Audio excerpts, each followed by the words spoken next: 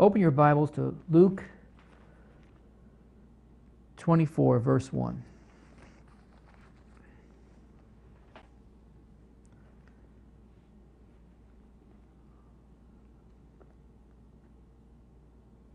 I came from a physical therapy for my back session. I just got here in time to do a live program. And I was thinking I was lying on the table there.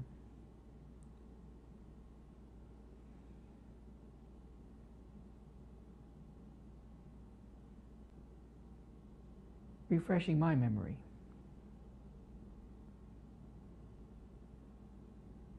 the two most important points. Listen, without these two points that I'm going to present to you tonight, there is no gospel because you don't believe that Jesus died and rose again. I don't even know why you call yourself a Christian. Definitely not a disciple of Jesus Christ. I know Christian has a whole different label to it now depending who's describing what a Christian is. But you're definitely not a disciple of Jesus Christ. I was thinking there, what am I going to do when I come here tonight? I didn't want to get into the last day series because not that I'm not ready to preach on it, it's just you need a little more energy level to make sure I don't miss anything that I want to communicate to you. This has become second nature to me. It's part of my everyday things that I do.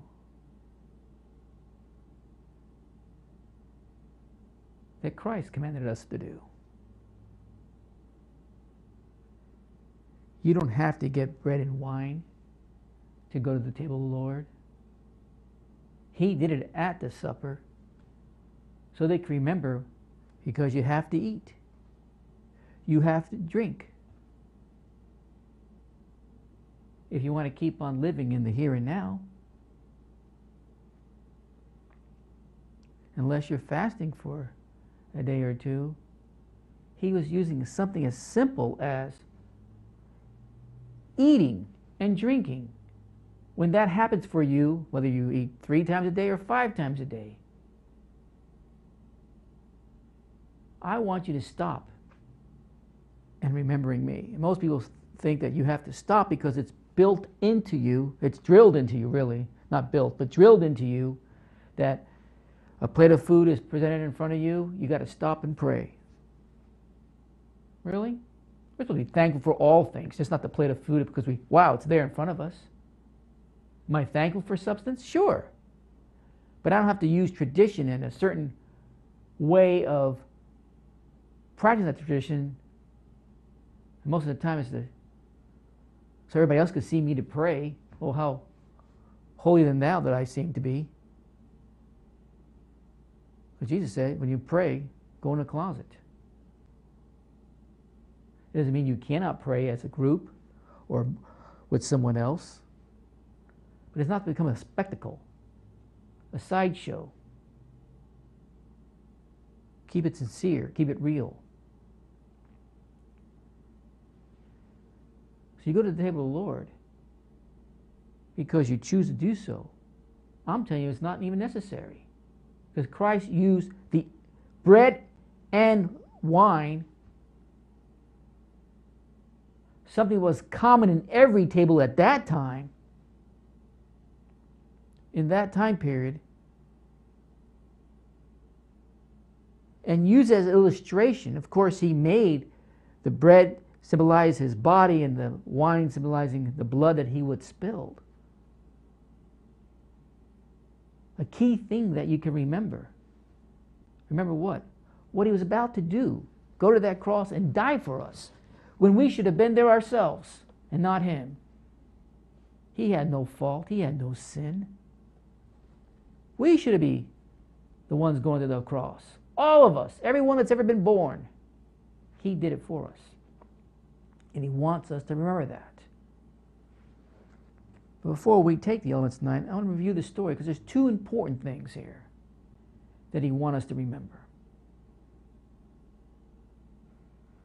Verse 1 Now upon the first day of the week, very early in the morning, they came unto the sepulchre, bringing up the spices which they had prepared, and certain others with them. Remember, Jesus already died. And they buried him quickly. Three days and three nights went by. Now they're going to go back. And they found the stone rolled away from the sepulchre. And they entered in and found not the body of the Lord Jesus. It's gone. Remember, this stone was also guarded by, by, by soldiers. Unless there was some plot going on, somebody paying somebody on the side and making sure all the soldiers got what they needed because if, listen, if Jesus' body was gone, those soldiers would have to pay the price. It was their responsibility to protect it. And it came to pass as they were much perplexed thereabout, behold, two men stood by them in shining garments. Now you can read this story also in Matthew, Mark, and John. But I chose Luke for a reason. And as they were afraid and bowed down their faces to the earth, they said unto them, Why seek ye the living among the dead? Why ye seek the living? Literally, write it down. Him that liveth. Who's the him? Jesus. Wait a minute, we watched him die. He was dead. Why seek ye the living among the dead?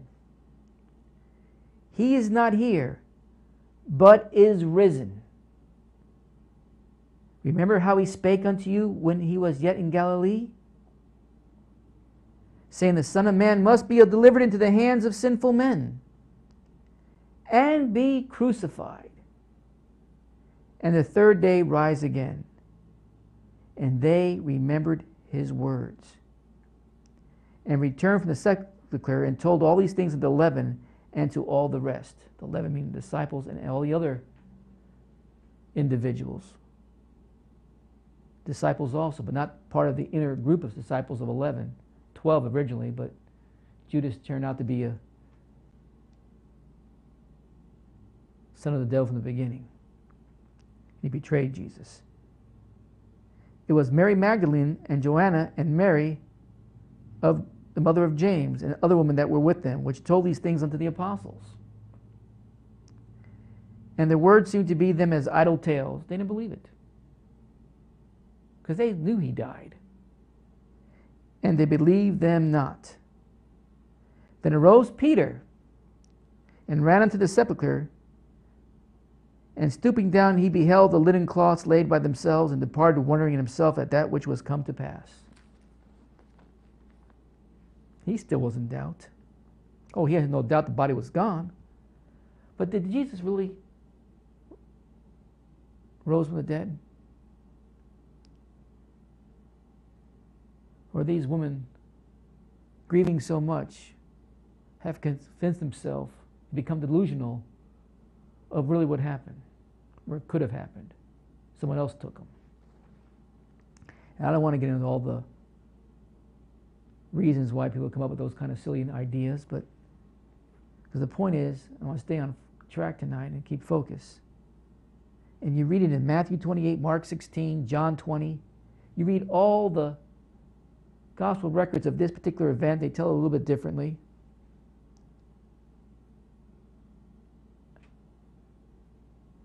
It's the same message, though. And it's the first message after those three days and three nights.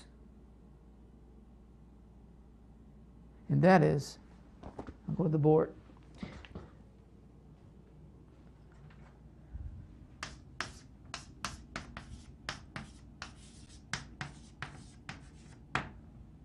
He is risen. He is risen. That's message number one. That's the first thing that Jesus wanted to be communicated. Here in the story, it says he uses angels to do it. To get that message, he is risen. He is not here. All you're going to find in this tomb is other dead bodies, but he is not here. And don't you remember how he told you this prior to even even happening? That he would rise again after being crucified, and they remembered his words. Now it's unfortunate. His disciples didn't become instant believers. But put yourself in their, your shoes, their shoes, before you start throwing stones. We probably would have been the same way. The same way. Probably caught up in all kinds of things spinning in our mind, trying to rationalize one reason after another that no, Jesus is still dead. He's just been taken away, and whatever other reasons you want to come up with. But he surely did not rise from the dead. Yes, he did. And I said, when you read these other gospel records, the same stories. Matthew 28, verses 1 through 10, Mark 16, verses 1 through 8. Here in this record, in John 20, I think it's verses 1 through 10, you see all of them telling the same story with all the same message. The first message that Jesus is alive. Him that liveth. Him that liveth. If you don't believe that, don't even participate, participate in the second. The second thing he wanted to emphasize. Because if you put the gospel records in a timeline when these events happened, the visiting to the tomb, and the disciples coming, and they're all in amazement. What happened? I got to give the woman that went to the tomb, they were believers before the disciples were, that he rose from the dead.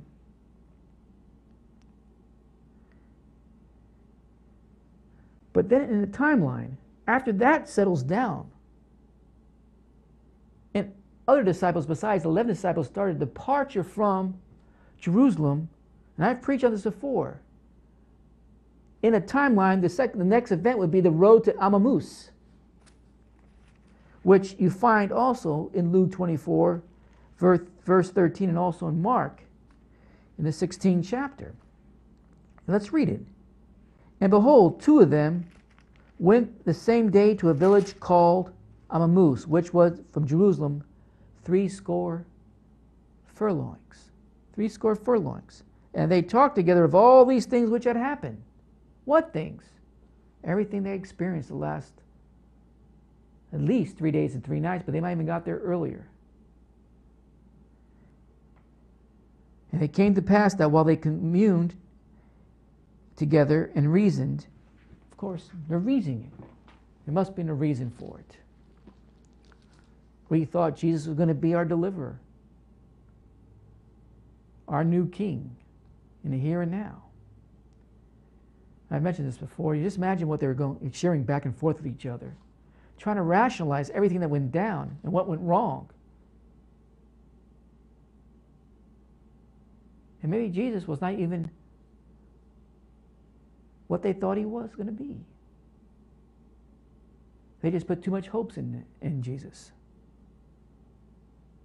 He didn't step up. God knows what was going through their minds. Like I said, they were disciples, but not in that inner group of disciples. They still were disciples. And they were trying to reason.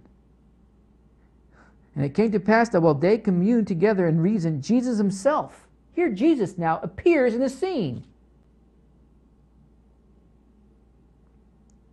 To these two, he drew near and went with them. But their eyes were holden that they should not know him somehow, some way, Jesus was able to pull off, and why not? He just rose from the dead. This would be easy.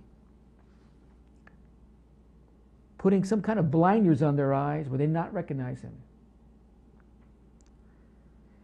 But their eyes were holden that they should not know him. They didn't. They did not know him. I think I have something here.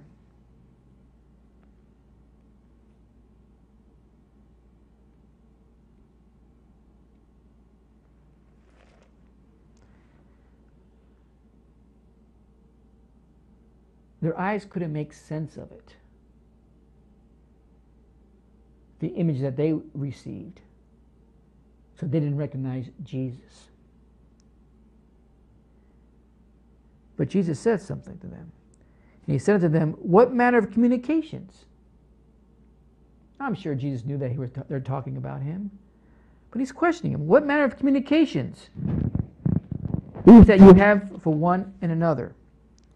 As you walk and are sad. As you walk and are sad. What manner of communications?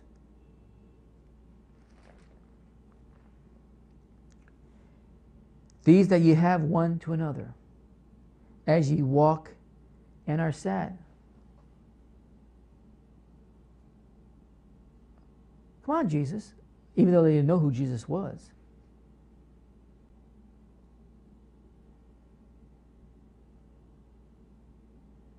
Why didn't you say who you are right when you walked up to them? Because he's driving a point home so they can remember what they heard in the light but forgot in the dark, the darkness of what their thoughts drug them into, which led to all kinds of doubts, reasons that try to justify what and what was not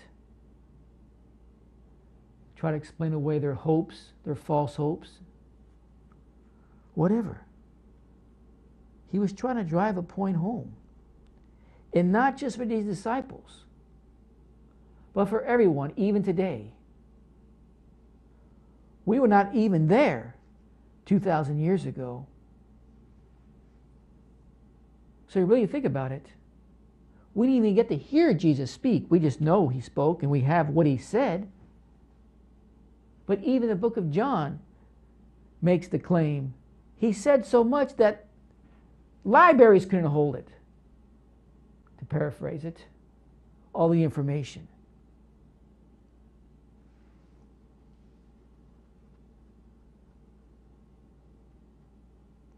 But when that was all said and done, all they had to remember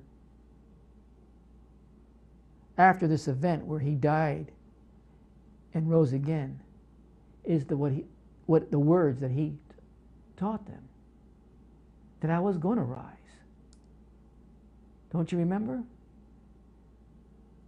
And I want you to remember that. From the very first day you realize that as an actual fact, with all trust and confidence, pisteo, without a doubting mind or thought, from this day forward, and I'm going to show you, remind you, the way I want you to remember it. It's going to be as easy as going and sitting down and having something to eat or drink. Jesus made it quite simple. Man, through all their doctrines, have complicated the issue. And one of them, whose name was Cleopas, answered, saying unto him, Art thou only a stranger in Jerusalem, and hast not known the things which are come to pass there in these days? Where you been, whoever you are? How could you not know the news?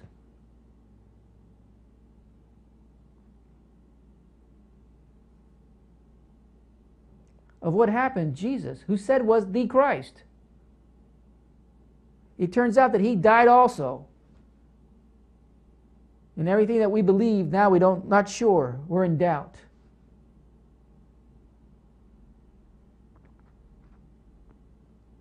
And he said unto them, What things?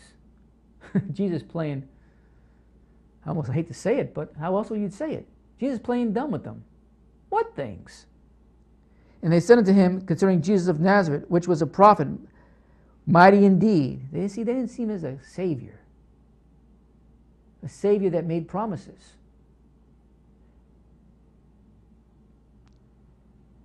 They saw him as a prophet, mighty indeed. Oh, he could do miracles. And word before God all the people. And how the chief priests and our rulers delivered him to be condemned to death and have crucified him. But we trusted or hoped that it had been in which he, he which, which should have been redeemed Israel. Besides all this, today is the third day since these things were done.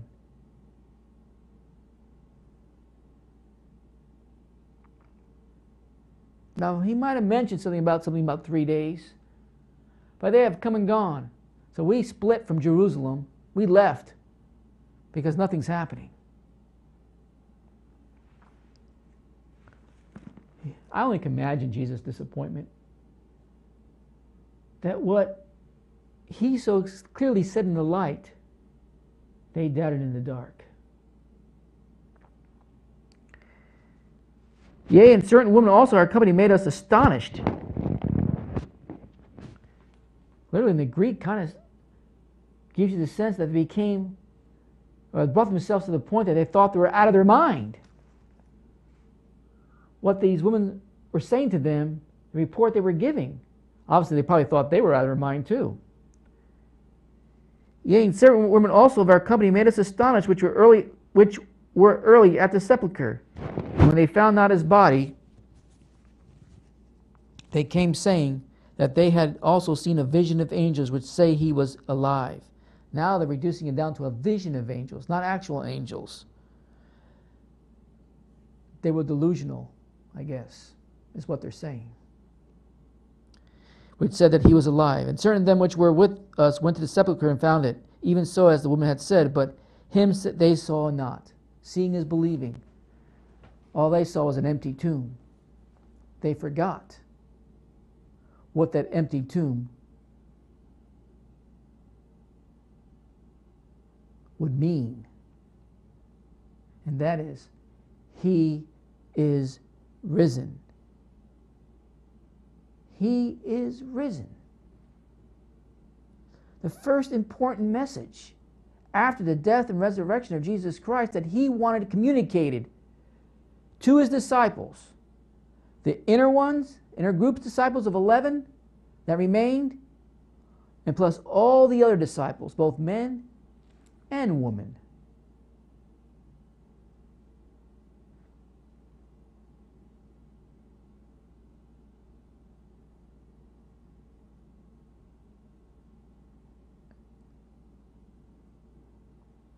He wanted the word to go out. He is risen. Now, the response to it, you would think would be overwhelming. Hallelujah! Lord, where are you? I believe you did rise from the dead. That's not what was received.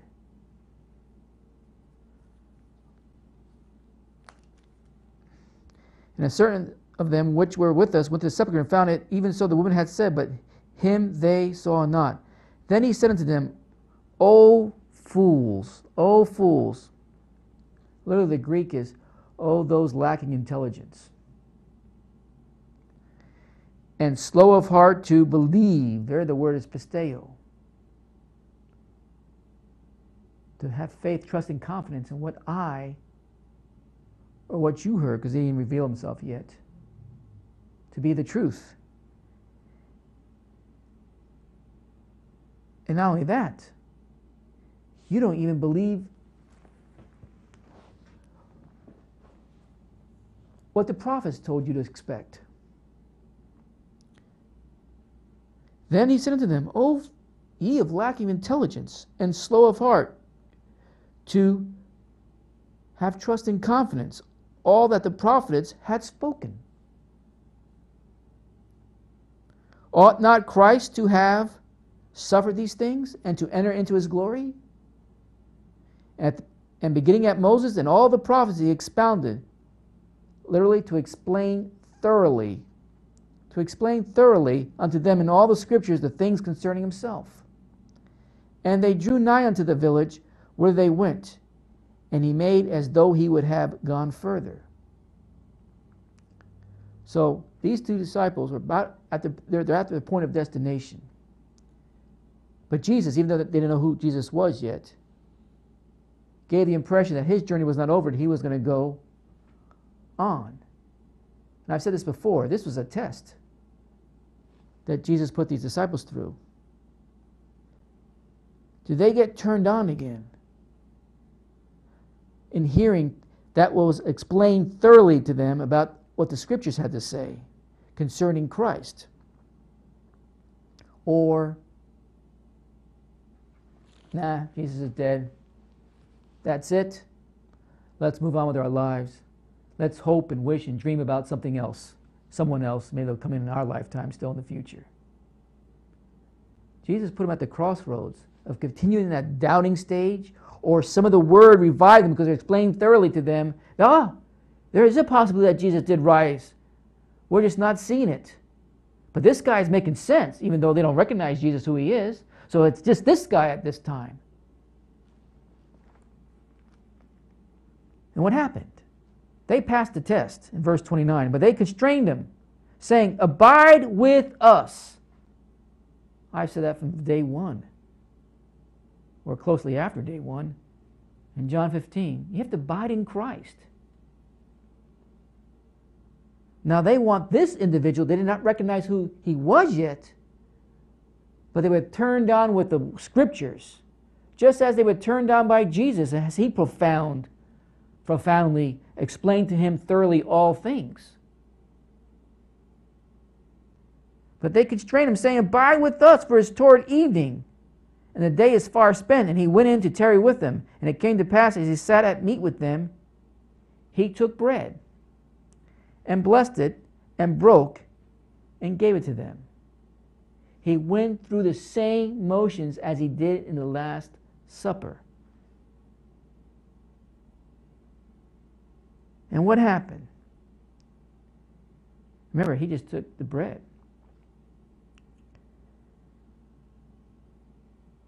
Didn't even have to do anything else. And their eyes were opened, and they knew him. They instantly recognized who he was because Christ reminded them. See, everybody you see the pictures, the paintings, you think there's only 12 disciples at the Lord's table in that Last Supper. It was a room full, my friend. Probably over the capacity, people coming in and out. Yes, the inner circle, because obviously he communicated that inner circle. We have the record of it in the gospel record of what was said in that table, at least partially what was said. But there's other there's too that saw what Jesus did before he died. And now he's putting them through the motions again to activate their memory, to remember what they saw and what he said what was going to happen. And as soon as they recognized that, guess what? Their eyes were opened. To what? To the first thing on that board. He is risen. They recognized the truth. It hit him, smacked him right across the face, I guess. And it grabbed their attention.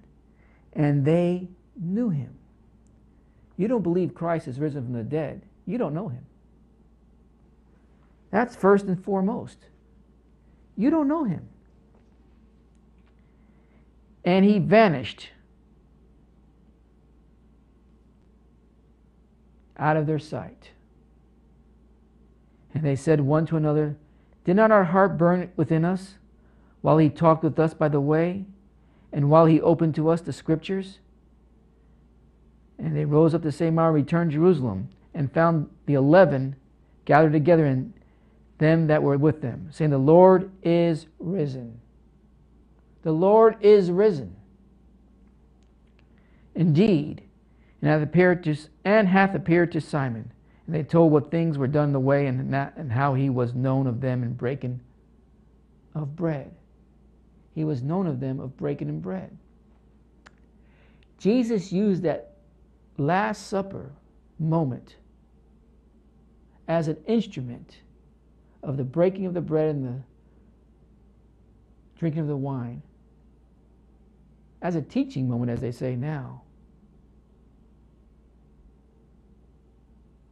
something that we can do every time, or at least once a day, to remember what he did for us on the cross. And what he said what would happen did happen. He did rise from the dead. He is alive and well. And he's also coming back. If he lived up to the first Advent promises, what makes you think he's not going to live up to the second? He's alive and well. He's coming back. Now, the second point.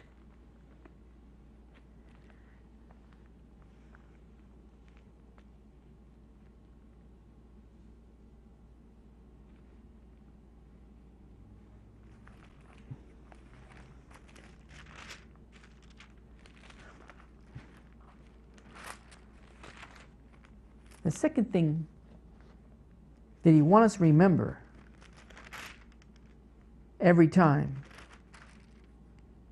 we sit down and gather, or you sit down with your family members and gather, or you sit by yourself, that have some food, to drink something for your thirst, is to remember, acknowledge, worship, and praise Him for what He did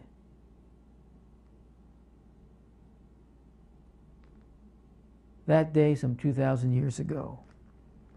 Now, in Matthew 26, verse 26, and as they were eating, Jesus took bread and blessed it and broke it.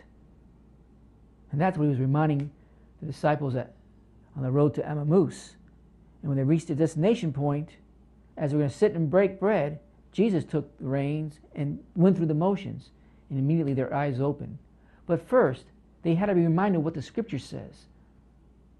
Well, we have it. We have the luxury to read it for ourselves. But I find it amazing how easily it's to forget. To do what Jesus commanded us to do, to remember Him in this act of eating and drinking. What He did for you. Now, you can remember Him without eating and drinking. That's more power to you. But we have no excuse once you know all the facts that we have in scriptures of what he given us to as a reminder to say, hey, don't forget me. Remember me. You're eating food, but I give you the bread of life.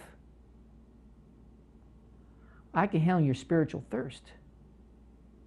Abide in me. And as they were eating, Jesus took the bread and blessed it and broke it and gave it to the disciples and said, Take it, this is my body. And he took the cup and gave thanks and gave it to them, saying, Drink ye all of it. For this is my blood of the New Testament, which is shed for many for remissions of sins.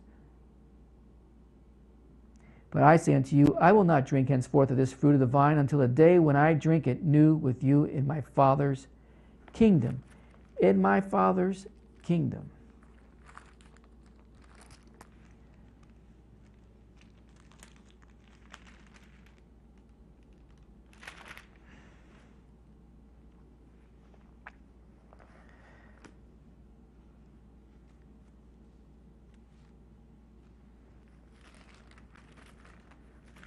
Now, Paul, in the Corinthian letter, also instructs on the Lord's Supper. And he says in 1 Corinthians 11, verse 24, oh, sorry, verse 23.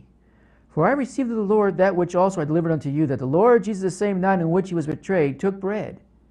And when he had given thanks, he broke it and said, Take, eat, take, eat. This is my body which is broken for you. Do this in remembrance of me. Do this in remembrance of me.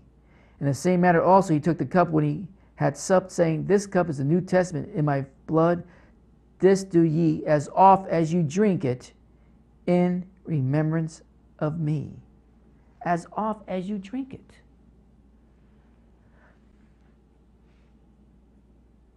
For as often as you eat this bread and drink this cup, ye show, for ye show, literally, ye announce to yourself, number one, and I like to think the unseen world, that we still remember what Jesus did for us. and you have no more power over sin and death.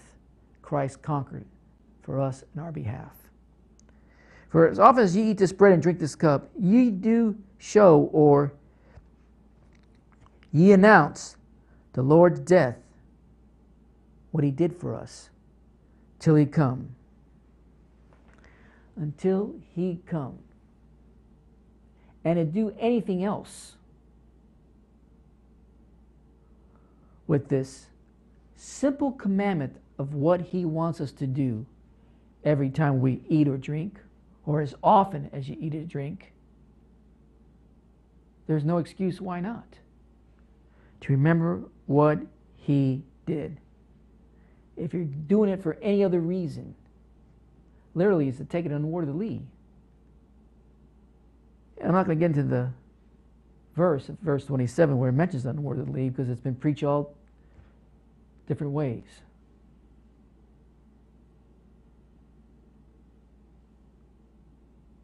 And it was abused, even those early church days, especially by the Corinthians.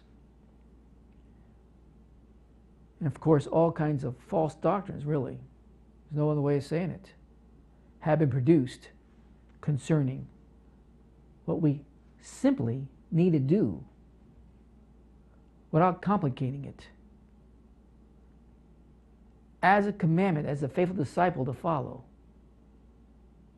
as often we eat or drink, is to remember Him. Is to remember Him. You don't have to have any special ele- uh, elements. I don't care if you're eating a turkey sandwich or a beef stroganoff or drinking wine or water. Those are just symbols of saying, hey, I need to stop and remember what he did for me. It's as simple as that. To declare it anything else besides that is to take the focus off what he wanted us to remember. So, the second item on the board, the second most important message is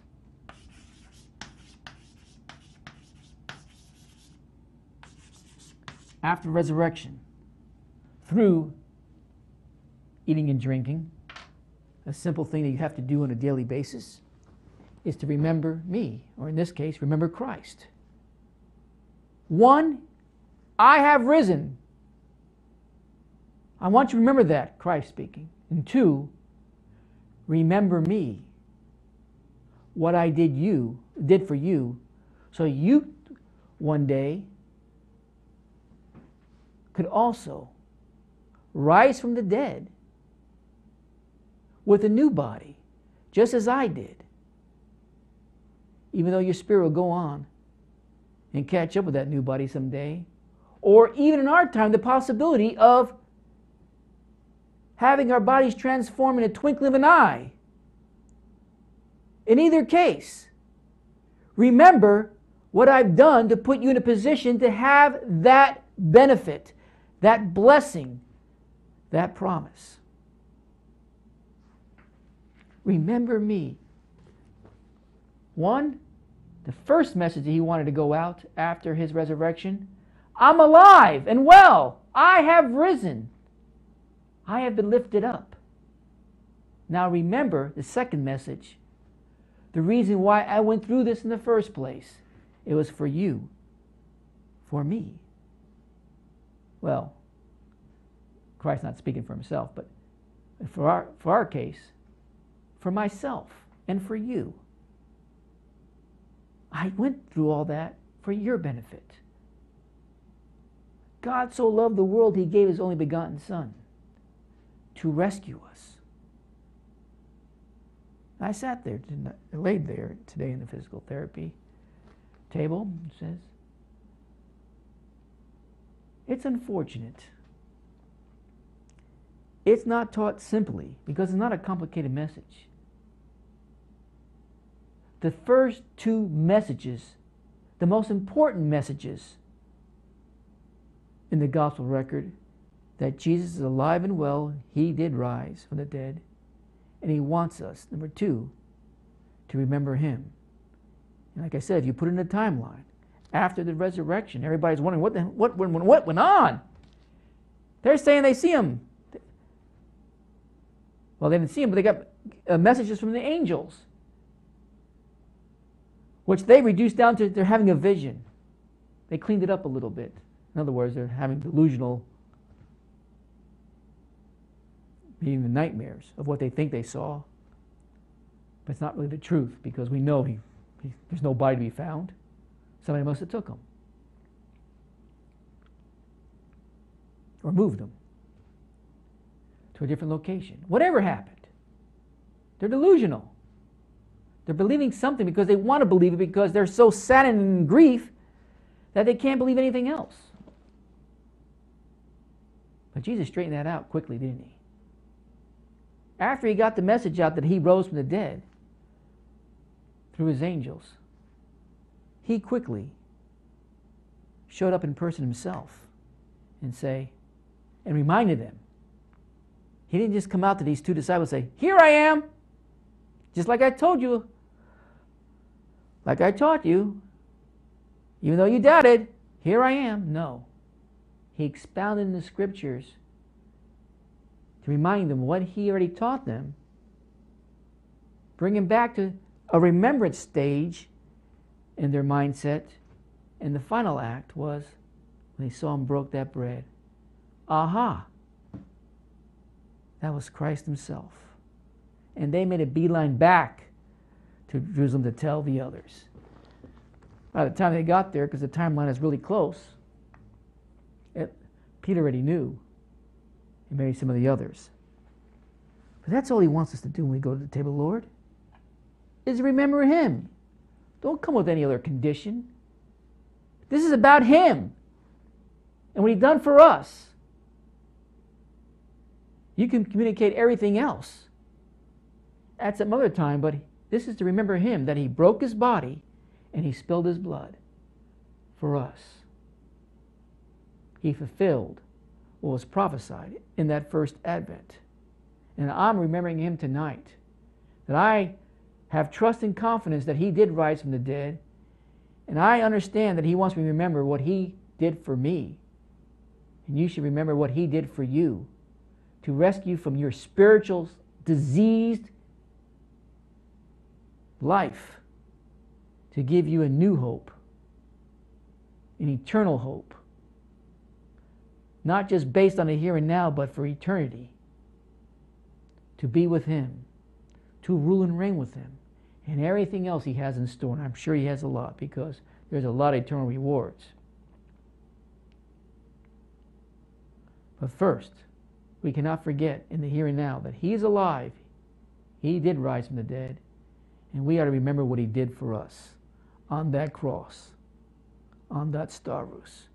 Take the bread and take whatever element you have. I happen to have, I think it's some wine here. And partake tonight, remembering what he did on that cross. And he is alive and well, just as he promised. Thank you, Jesus. Thank you, God, for allowing your only begotten Son to do what he did. The world didn't want Jesus, but the world needed him, needed him badly. And he gave his life for us.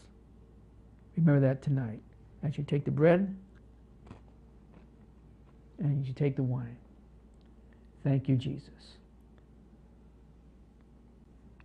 Play a song. I want to hear from you.